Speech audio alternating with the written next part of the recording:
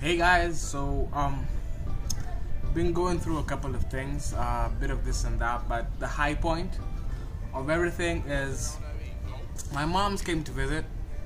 It's been a couple of months since I last saw her. It's been a whirlwind of memories, uh, stories about some shit that went down back in the day that I didn't know about. I grew up with four brothers. Uh, our house was full of so much testosterone because it was just us four plus my dad and my mom. In, my mom was the only female in the house. She she basically had to develop balls of steel to deal with us. So th- this video is for her. As in, I don't know if she's actually she's in the back. I don't know if she can hear me doing this video, but um, th- this video is for her. I'm gonna edit it out. I'm gonna send her a copy.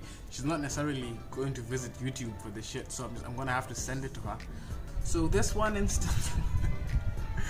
She reminded me of something. When we were about eight, I was eight. My big brother was, I think, 12 at that time. And contrary to what you see now, uh, back in the day, none of us loved to eat. We all had uh, eating problems. Not eating disorders, we had eating problems.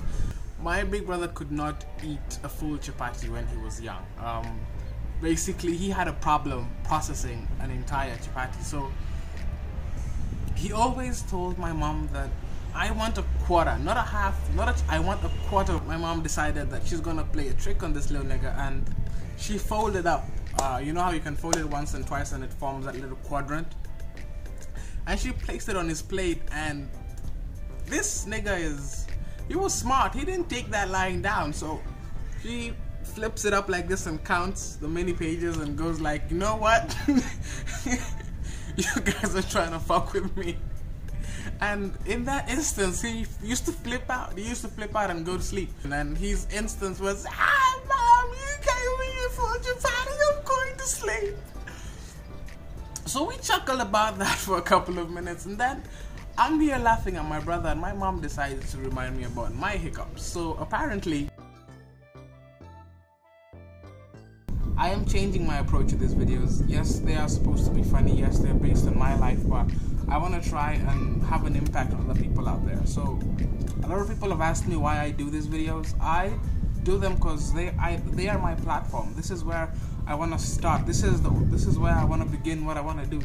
My dream for this, my distant vision is uh, to do a special, like a serious special. Not no offense to what uh, the Churchill Show, anything like that, but I want to do a special, something like. Um, the Pimp Chronicles, uh, that, that, kind of stuff, because that's the kind of comedy that I like. That's the kind of stuff that I'm into, but that's a story for another day. So I started doing my videos, and I use my phone to shoot my videos. Um, a lot of people wanna do stuff out there, but they are thinking about what to do. They need this, they need that. Fine, you may need a lot of stuff, but you can always start from somewhere. As in, you can always start with what you have and get you and get to where you want to be. So my sign off for today is you are where you need to be as of now.